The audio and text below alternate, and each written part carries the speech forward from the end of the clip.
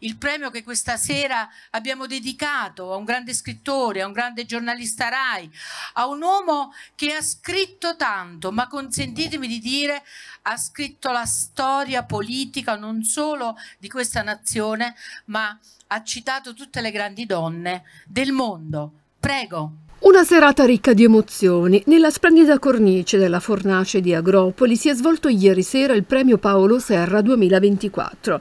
Il riconoscimento è andato al giornalista Rai e scrittore Ermanno Corsi che durante la serata ha presentato il suo libro Le donne che conquistano il mondo, da Palazzo Chigi alla Casa Bianca.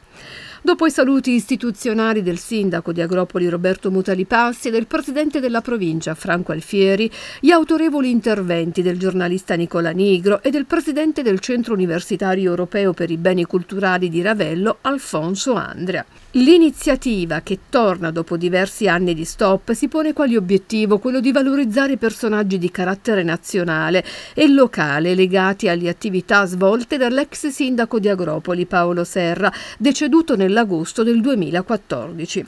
Commosso il ricordo della sorella Elvira che insieme a tutta la famiglia Serra ha voluto fortemente il premio, avviato qualche anno fa dal giornalista Sergio Vessicchio, che con il compianto sindaco ha condiviso l'esperienza televisiva di Teleagropoli Cilento. Leggiamo la motivazione.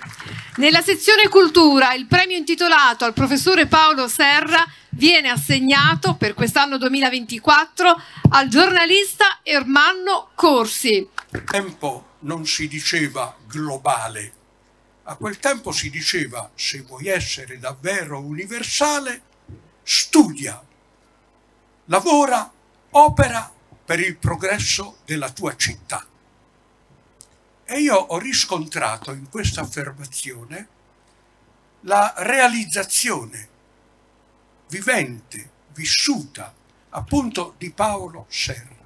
Beh, che dire, innanzitutto grazie a tutti perché siete dopo dieci anni ancora tanti. Eh, ciò significa che papà ha lasciato un bel ricordo e eh, siamo felici di questo.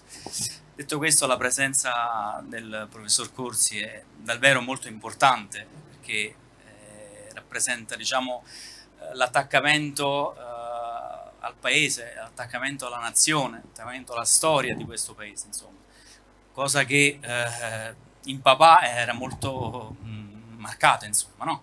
Papà era una persona vicina alla gente.